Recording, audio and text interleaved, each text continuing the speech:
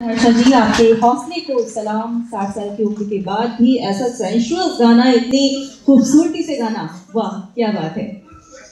दोस्तों, जब हम पुराने गीत और नए गीत की बात करते हैं तो मैं क्या ही कहूँ कि यही कि नए गीतों की आंधी, पुराने गीतों की क्षमा को कभी नहीं बुझा सकती। आज के गीत आप सुनते हैं,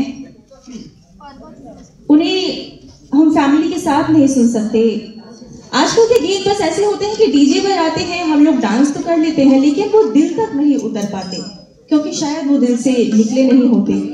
इस पर नौशाद साहब ने कुछ ऐसा लिखा है कि एक वो भी जमाना था, एक ये भी जमाना है, एक वो भी जमाना था, एक ये भी जमाना है, जैसे वो हकीकत थी, जैसे ये फसाना है, जो दिल उतरता था, जो रूह को छूता था।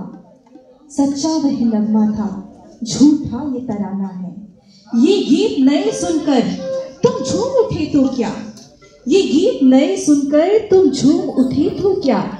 जिस गीत पे दिल झूमा, वो गीत पुराना था। तो पुराने गीतों में कुछ ऐसी ही ताकत थी और एक और बहुत ही खूबसूरत नगमा आपके बीच लेकर आ रहे हैं। अनन्या जी और हरीश जी सरगम मूवी से ये गीत है 1979 की ये मूवी है। आनंद बख्शी साहब ने इस गीत को लिखा और रफी और लता जी की आवाज़ का ये गीत है। पर्वत के उस पार। मैं आवाज़ दूँगी अनन्या जी और हरीश जी को।